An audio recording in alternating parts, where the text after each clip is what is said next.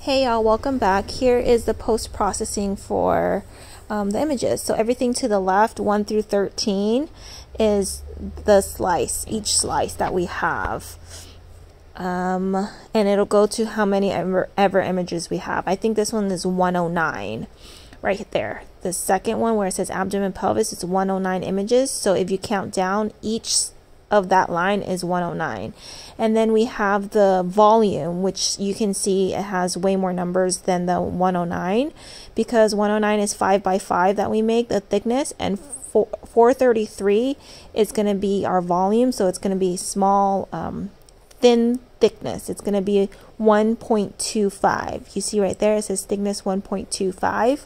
So that's where we make our sagittals and coronals using the volume scan. We don't send volumes to the radiologist. The images is too much.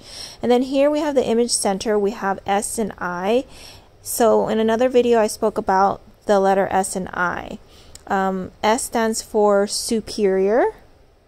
And then you scroll down, you're going to go to the zero point where we zeroed it out.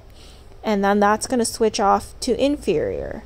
So there is a zero, and then you go down, it's inferior. So that's essentially saying that's your negative numbers.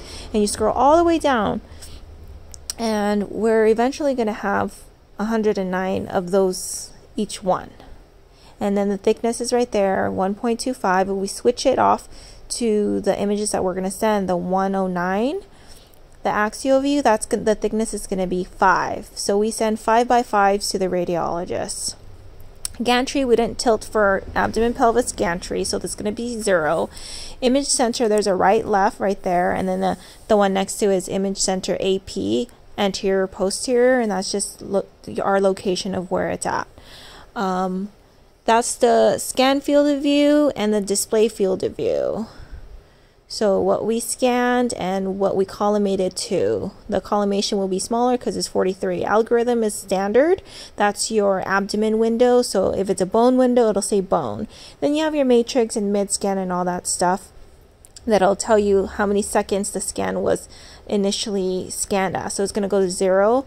And if you go all the way down, um, we scan it all the way to eight seconds. Oh no, 12 seconds. So the whole scan from top to bottom is 12 seconds total. And then there's the last image, 109 right there. So it's just going to tell you, and then that's the inferior number. So that's a little review of what we're looking at after post-processing.